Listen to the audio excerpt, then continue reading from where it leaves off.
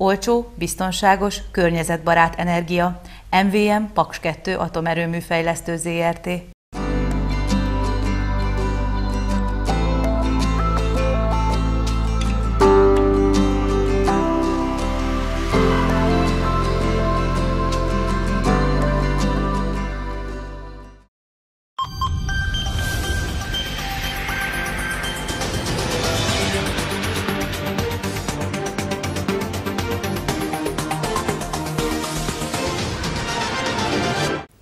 Köszöntöm kedves nézőinket a Kalocsa Televízió szerdai híradójával. Minden készen áll a népszavazásra. Személyileg és technikailag is felkészült a Kalocsai Hivatal. Elkészült a Kalauz, a Társadalmi Tanács 41 településéről szól a magyar-orosz nyelvű turisztikai kiadvány. Szombaton kezdődik az új színházi évad. Kalocsán is bemutatkozik a Szilveszter Társulat. Minden szempontból felkészült Kalocsa város önkormányzata a vasárnapi népszavazásra, amely során a nem magyar állampolgárok Magyarországra történő kötelező betelepítésével kapcsolatban voksolhatnak a magyar választópolgárok. Október másodikán reggel 6 órától este hétig tart majd az a népszavazás, amelyet a kormány kezdeményezett a kényszerbetelepítés ellen. Ennek értelmében kell majd igennel vagy nemmel válaszolni a szavazólapon feltüntetett kérdésre, amely a következőképpen hangzik. Akarja-e, hogy az Európai Unió az országgyűlés hozzájárulása nélkül is előírhassa nem magyar állampolgárok Magyarországra történő kötelező betelepítését? Dr. Kis Csaba Kalocsaváros jegyzője hangsúlyozta, hogy szavazni csak érvényes okmányokkal lehet majd, ami azt jelenti, hogy a szavazóhelyiségben a választópolgárnak igazolnia kell személyazonosságát, valamint a lakcímét vagy személyi azonosítóját. Vannak azonban egyéb fontos feltételek is, amiket nem szabad figyelmen kívül hagyni. Este 7 órakor egy bizonyos sorállás alakulna ki, aki ben van a szavazóhelyiségben, az még szavazhat, de aki utána érkezik, az már nem. Tehát olyan nincs, hogy valaki 7 órakor odaér és sorba áll, és azért nem szavazhatna le, nem, az természetesen szavazni fog. Kalocsa városi edzője ugyancsak felhívta rá a figyelmet, hogy szeptember 30-a péntek délután 4 óráig lehet kérni az úgynevezett átjelentkezést, amelynek lényege az, ha esetleg valaki nem a lakóhelye szerinti városban, adott esetben Kalocsán akar vagy tud szavazni.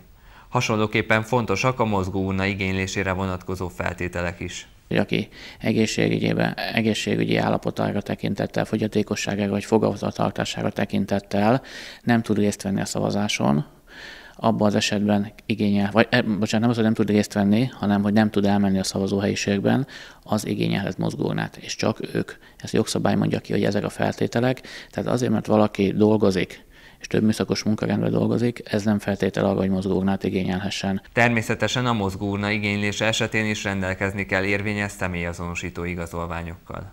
A Paks 2 beruházásnak egyik fontos gazdaság élénkítő eleme a térségbe áramló munkaerő elszállásolásának és szabadidős tevékenységének megszervezése. Ezen feladat megvalósulását segíti a Társadalmi Tanács településeiről szóló magyar-orosz nyelvű turisztikai kiadvány, amelyet szeptember 27-én kedden mutattak be Pakson. Paksi atomerőmű új blokkjainak építésével kapcsolatban számos feladatot és problémát kell áthidolnia még a térség, azaz pontosabban a Társadalmi Tanács 41 településének, köztük az ide áramló munkaerő rekreációs tevékenységének megszervezését. Azt is tudjuk a egy blokk építés tapasztalatából, hogy ezeknek az embereknek, akik itt komoly munkát fognak végezni, szabadidejüket is megfelelő módon kell lekötni, aktív pihenésre is lehetőséget kell nekik biztosítani, és hogy ezt lehet szervezetten is majd tenni, meg lehet egyéni módon is. A szervezettségre való törekvéseket pedig jól tükrözi, az az úti kalauz, amit hivatalosan szeptember 27-én mutattak be a nagy közönség számára. A kiadvány a három térség, Kalocsa, Paks és Szexár településeit és turisztikai látványosságait mutatja be magyar és orosz nyelven, azzal a célral, hogy az érintett falvak és városok egyaránt részesülhessenek majd az idegenforgalmi bevételekből. Végig arról beszéltünk a előkészítés kapcsán is, hogy úgy kéne nekünk ezt az időszakot eltölteni, hogy legyen ebbe egy közös fejlődési lehetőség a térségnek. Tehát ez a tíz év, amíg itt nagy létszámba fognak munkavállalók érkezni, akár magyar, akár orosz, vagy az oroszoknak bármilyen alvállalkozója, azok itt, itt a környékünkbe tudjanak fogyasztani, a környékbeli gazdák termékét fogyasszák. Ez nagyban segíteni a régió és az itt lévő kisebb vállalkozások megerősödését, hogy az építkezés lezárását követően megmaradjon a fenntartható turizmus, élelmiszertermelés és feldolgozó ipar is egyaránt. A hétvégén a Kalocsai Színházban is bemutatkozik a Szilveszter Társulat. A kiskörösi amatőr színjátszókból álló csapat a Házasságlevél című darabot adja elő. Pár hónappal ezelőtt hatalmas sikerrel mutatta be a Házasságlevél című vígjátékot Kiskörösen a Szilveszter Társulat. A lelkes amatőrökből álló csapatot az Országos Petőfi Szilveszterek elnevezésű program hívta életre.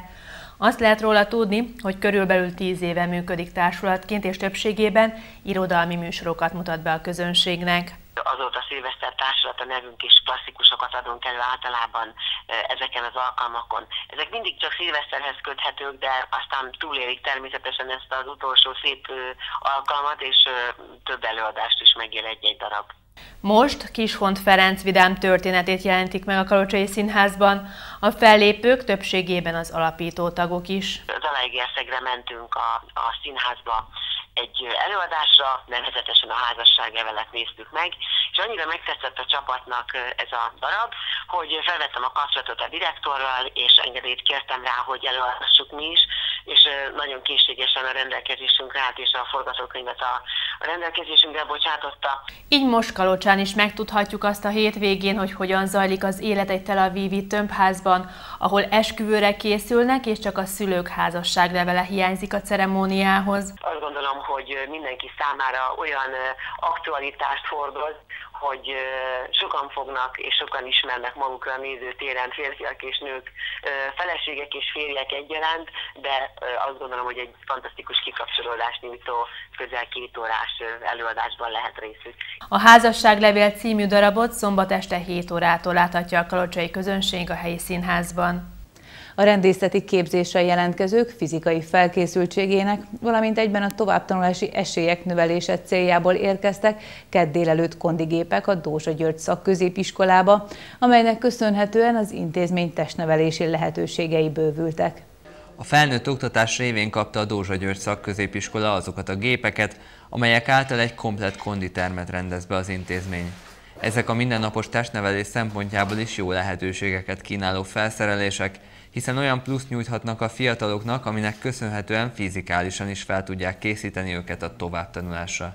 Itt elsősorban természetesen a rendészeti képzésen jelentkező diákokról van szó, hangsúlyozta Jenei Tibor az intézmény testnevelője. Pár gépünk volt eddig is, azt eh, szorványosan elvétve használták a gyerekek. Most ez egy akkora lépés, hogy eh, úgymond a tanmenetbe beépítve is eh, óratartás keretén belül tudjuk fejleszteni, és úgymond hál' Istennek vannak megfelelő testnevelő tanárok, akiknek megfelelő képzettséggel rendelkeznek ezen a területen is. Jenei Tibor, mint a megvalósulás egyik feltételét Fekete Antal igazgató, valamint a Bajai Szakképzési Kutatási Centrum kiváló együttműködését emelte ki. Ennek köszönhető elsősorban ez a fejlesztés, másodszorban pedig az, hogy, hogy szeretnénk azt elérni, hogy az idejövő gyerekeknek a továbbtanulási esélyei jóval megnőjenek. Tehát, hogy ezt az arányt tudjuk növelni, 80-90 százalékosra szeretnénk feltornászni ezt az arányt. Ehhez viszont ezekre szükség van. Tehát ez most nem egy ilyen plusz újdonság, hanem ez szükséges ahhoz, hogy ezt az eredményt elérjük. Ott jártunkkor a gépek összeszerelése még javában zajlott, van amelyikről még a gyári védőfólia sem került le. Nem kell azonban már sokat várni a diákoknak arra, hogy használhassák az új eszközöket, sőt két héten belül egy külön bemutatóval is készül az intézmény. Látványos kísérleteket és érdekes előadásokat ígér péntek este a Kutatók Éjszakája elnevezésű program a Szent István Gimnáziumban. Az országos rendezvényhez idén először csatlakozott az intézmény, és minden érdeklődőt szeretettel vár az üveges laboratóriumban. Ez az az egyik látványos kísérlet, amit péntek este fél héttől mutatnak be a Szent István Gimnázium öveges laborjában az érdeklődőknek a szaktanárok. Akkor kezdődik ugyanis a kutatók éjszakája. Magyarországon több intézmény csatlakozásával tartják meg évek óta Európa legnagyobb tudománykommunikációs rendezvénysorozatát, mely megmutatja a tudomány sokszor titokzatosnak vagy a hétköznapoktól távolinak tűnő világát a szórakoztató programokkal. Ehhez kapcsolódott be most először a Kalocsai Középiskola is azzal a céllal, hogy közelebb hozza az embereket ehhez a világhoz. Próbáljuk meg Kalocsának azokat a azokat a diákokat, felnőtteket összehívni, akik egy kicsit a természettudományok felé hajlanak, de nem csak azokat, hanem azokat is, akik pont nem szeretik, de szeretnék már végre megérteni azt, hogy a természettudományok az egy nagyon szép dolog. Az Öveges Laboratórium három éve egy uniós pályázat segítségével épült meg. A kiváló felszereltségű terem a legjobb helyet biztosítja a rendezvénynek. Négyféle tájból lesz itt érdekes kísérletek, kémiából, biológiából, fizika és matematika tantárgyakból a gimnázium tanárainak a részvételével.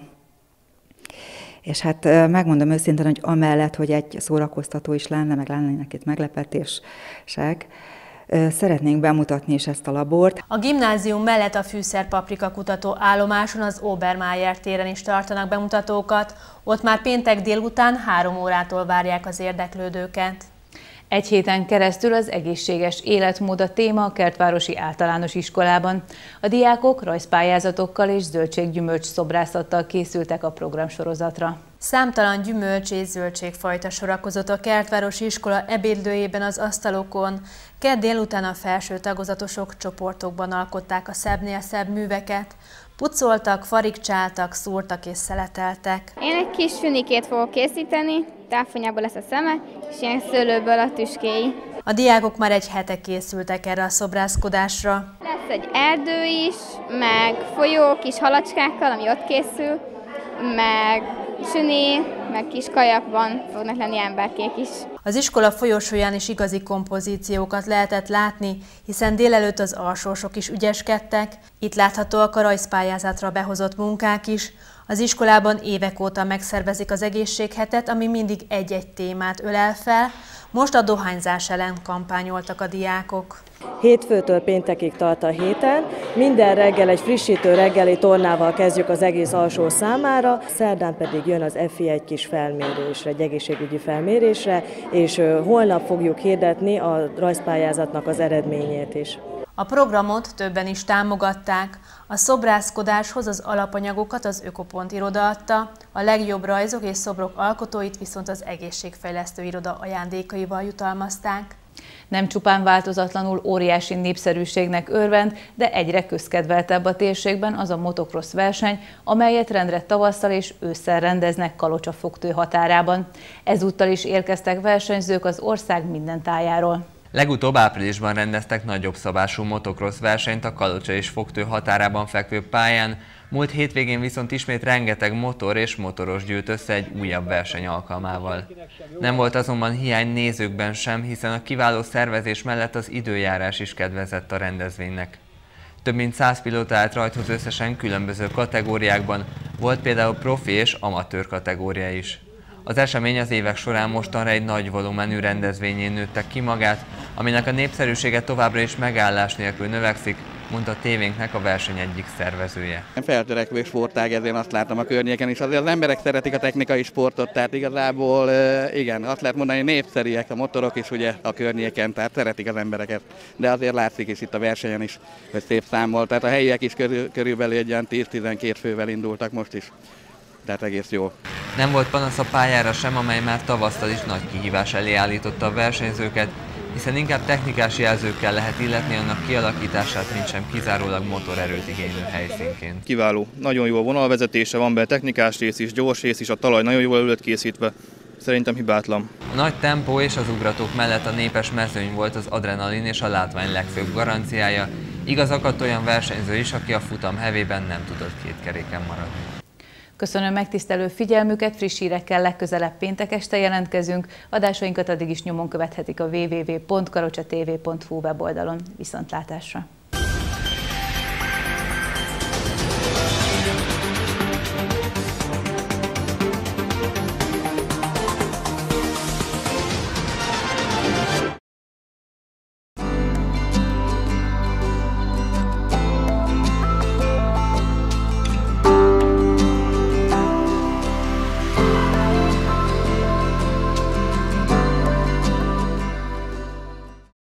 Olcsó, biztonságos, környezetbarát energia. MVM Paks 2 atomerőmű fejlesztő ZRT.